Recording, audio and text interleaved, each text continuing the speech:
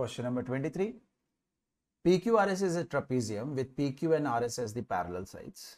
If the length of the four sides PQ, QR, RS and SP, they are 12, QR is 25, the entire SR is going to be 40 and PS is going to be 17.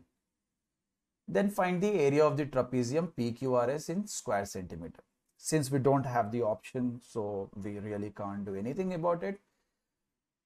Since uh, PST here PT being the perpendicular and QU being the perpendicular or the height they are going to be of equal length. So the basic triplets if we use what triplet do we have? The Pythagorean triplet says that the hypotenuse is 17 the triplet is uh, 8 15 17 Next, which triplet do we have where the hypotenuse is 25?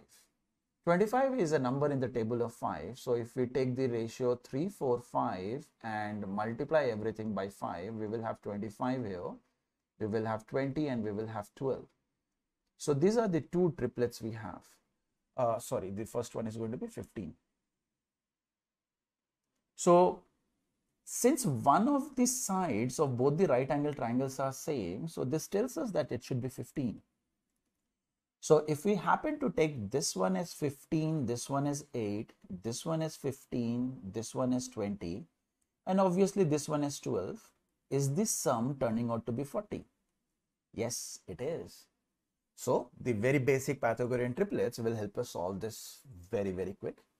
So the area of the trapezium is given as half into sum of parallel sides into perpendicular distance between them, which is uh, half of 52, which is 26 into 15, which will result in 260 plus 130, 390 centimeter square.